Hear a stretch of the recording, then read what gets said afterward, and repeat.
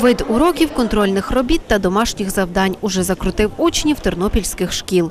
Чи не найважче першокласникам? Для них кожен день у цих стінах новий та незабутній. Нові букви та цифри, книжки з малюнками і головне дзвінок. Діти всього місяць за партою, але вже розуміють, наскільки він важливий. Одні з нетерпінням чекають дзвінок на урок, інші на перерву.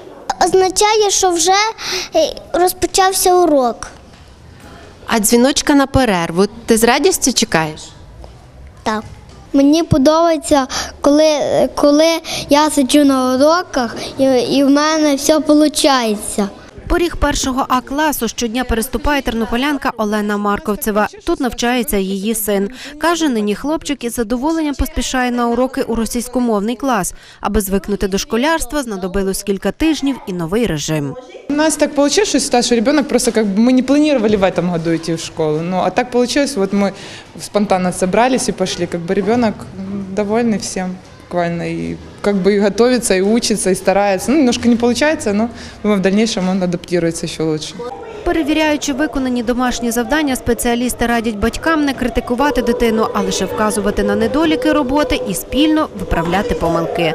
Не менш важливе значення на початку навчання має індивідуальний підхід до кожного першокласника. Відповідно до цього, психологи та педагоги розробляють різноманітні прийоми спілкування та методи адаптації дітей до школи. Головною компетентністю першого класу є навчити вчитися. Ми навчаємо граючись. І завданням кожного педагога є створити ситуацію успіху для кожної дитини, щоб дитина прагнула щодня йти до школи і пізнавати все нове і невідоме. До вчителя початкових класів Ірини Карташової цього року прийшло 19 першачків, кожен із своїм характером, темпераментом та звичками. Щоб адаптація першачків відбулася якомога швидше, навчання поєднують з грою.